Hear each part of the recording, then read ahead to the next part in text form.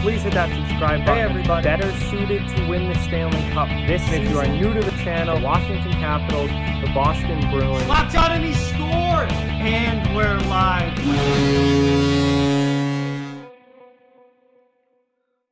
Hey everybody. So I want to talk a little bit about the New York Islanders because even though they lost last night, even though because their season has come to an end, there is so much for Islanders fans to be proud of with this team and so happy about with this team and the run that they were able to put together this year.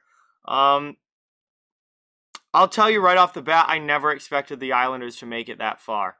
Um, this this Islanders team, um, you know, they really struggled at the end of the regular season. They went, you know, after the trade deadline, they lost seven straight games. I didn't even think they were going to make the playoffs had things continued regularly, and we didn't get the the break and and then the, you know the 2014 format and all that. If this season had continued normally, I honestly thought that the Islanders were going to drop out of playoff position, and I thought Columbus and the Rangers and teams like that were going to pass them. And um, this was a team that, that I really never expected to go this far. And this is a team that worked really, really hard, that played a style of game that fit them.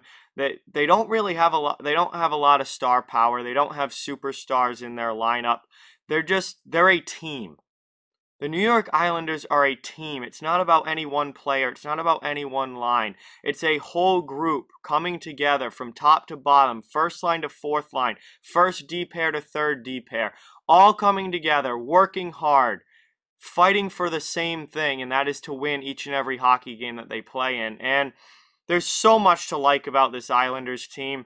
Um, I'm a huge. I've become a huge fan of theirs. I really, really like this this core group, and they were really close. I mean, at the end of the day, I think when you look at the rosters, if you put the Islanders lineup over here and the Lightning lineup over here, the Tampa Bay Lightning are a better hockey team.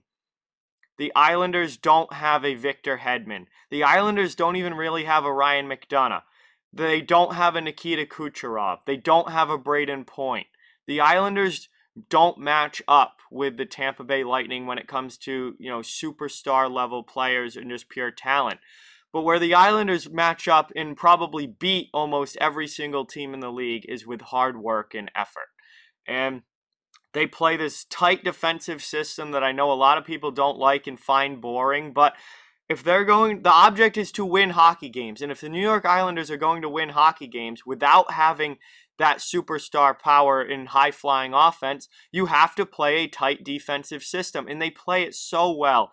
And they they play such a structured game, and from top to bottom, that whole lineup chips in as much as they can and does everything they can for that team. Barry Trotz, I'll tell you right now, is the best coach in the NHL. The best head coach in the NHL right now is Barry Trotz. Um, and I've been I've said that many times on this channel. I've been saying that for two years now. Since Trotz, even you know, even back when Trotz was in Washington, Trotz last year in Washington through now, he has been the best coach in the NHL. At, during that three-year stretch, he's been the best coach in the NHL, in my opinion. Um, I could not be a bigger Barry Trotz fan. I think he he's just an absolutely incredible motivator. He's an incredible um, tactician as far as playing a structured game and getting you know getting you know teams to play how he wants them to. And he's just he's an incredible coach. He's one of my absolute favorites that I've ever seen in the NHL. Um, and you know they obviously in in these playoffs the the Islanders really brought it night in and night out. And sure, they had some tough games here and there. A lot of their losses, though, were very close. A lot of them were in overtime. A lot of them were just very close games um, that that they did end up losing, and and they were able to you know come in. They they easily blew through Florida in the qualifying round. Then they destroyed the Capitals, absolutely destroyed the Capitals in that first round series. They had a very good series in the second round against the Philadelphia Flyers and were able to knock them off. And then they come in and they end up losing in the conference finals to Tampa Bay. But Islanders fans, that is absolutely nothing to be ashamed of. Obviously, it hurts that they lost. It stings that they lost. Um, and you you wanted to see them in the cup finals but when you take a step back and just look at this season and these playoffs for New York, you've got to be happy with how far the Islanders made it and how good they were.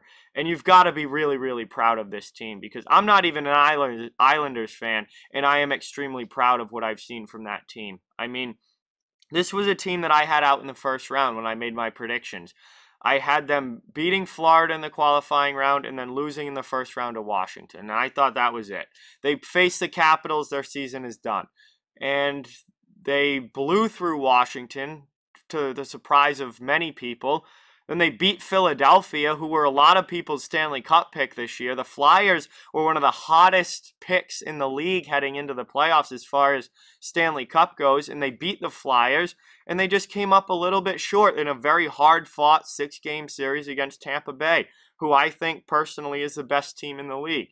So there's there's absolutely nothing to be ashamed of if you're the New York Islanders. They had a hell of a season this year. They had a hell of a postseason. They were much better than I expected them to be in the playoffs. And you know, they just they they played great hockey and they got incredibly good goaltending from Semyon Varlamov. Um, they they played tight defensively. They scored more than I expected them to in the postseason. Offense was an issue all year long for for New York. They were one of those great defensive but lacking on the offensive side type teams.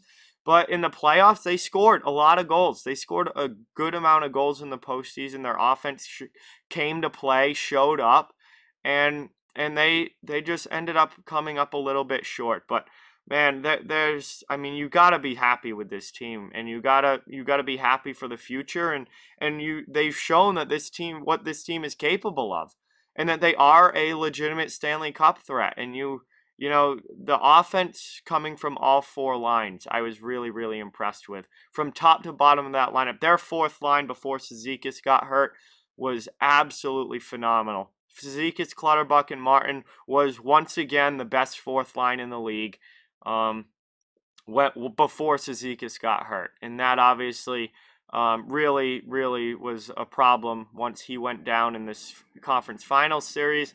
Um, losing Pelech for the last game was an issue as well, but every team's dealing with injuries. Tampa is as well. So, certainly not an excuse or, or why they lost. Every team, as you go through the playoffs, deals with injuries, but those are big losses for the Islanders. And, um, you know, they obviously felt those.